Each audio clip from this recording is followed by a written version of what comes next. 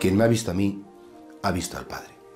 Fijaos que toda la razón de ser de la vida de Cristo, o sea, toda Jesús vino a la tierra para primero darnos a conocer cómo es Dios, para darnos a conocer que Dios es Padre y que esa, ese ser hijos de Dios era como el sentido más profundo de nuestra vida.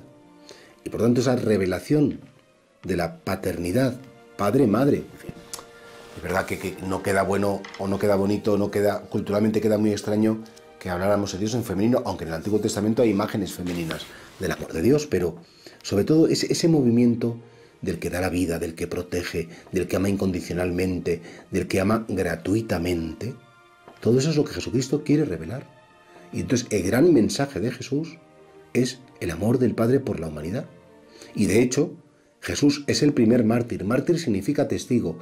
¿Y quién es un testigo? El que puede verificar incluso muriendo que esto es verdad. En un juicio cuando llaman a un testigo, ¿usted vio esto? Sí, es verdad. Pues Jesucristo es el primer mártir de qué? Del amor del Padre.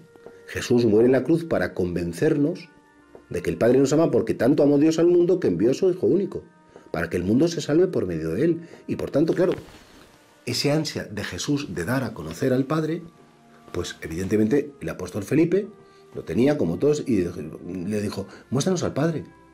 Entonces Jesús le corrige y dice, Felipe, ¿quién me ha visto a mí?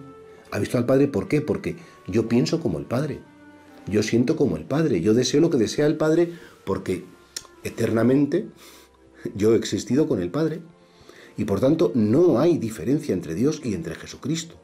No hay diferencia más que relacional entre el Padre y el Hijo y el Espíritu Santo, que son las tres personas divinas que suceden en un único Dios. Y por eso creo que nosotros sí podemos conocer al Padre. ¿Por qué? Porque Jesucristo lo ha revelado plenamente.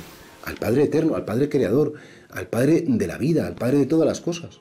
Es más, si nosotros no aprendemos a dirigirnos a Dios como Padre, no hemos entendido nada del mensaje de Jesús. Jesús le llamaba Abba, que en hebreo es papaito o papi. A lo mejor a ti te da un poco de vergüenza, pero a Jesús le preguntó una vez, Maestro, ¿cómo tenemos que dirigirnos? Dijo, cuando recéis, tenéis que decir Padre nuestro.